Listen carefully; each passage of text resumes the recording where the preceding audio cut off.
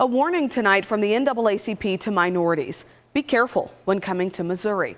New at 10, 41 Action News reporter Tom Dempsey explains the travel advisory, warning that your civil rights may be disrespected here in the state. This week, the NAACP sending a strong message to Missouri after issuing a travel advisory for minorities, a warning that their civil rights may be in danger. People should be extremely concerned that we have a national organization that is painting Missouri as a racist state.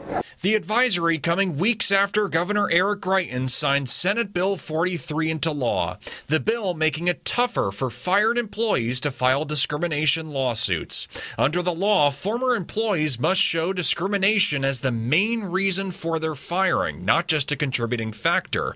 Supporters say the law could help cut down on frivolous lawsuits and put Missouri more in line with federal standards. But opponents, like State Representative Brandon Ellington, worry about its impact. The bill that will allow discrimination to run rampant in the workplace. We have actually rolled back protections for our most vulnerable citizens. The travel advisory also coming after an attorney general's report showed black black drivers were 75% more likely to be pulled over than white drivers in the state last year.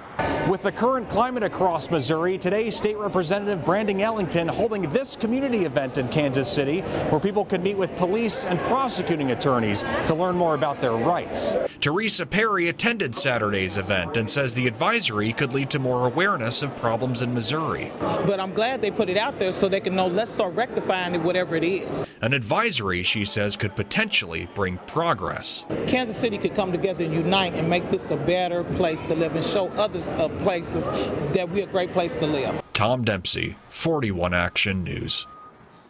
The NAACP voted on the travel advisory for Missouri during a national gathering this week. Senate Bill 43 goes into effect in late August across the state.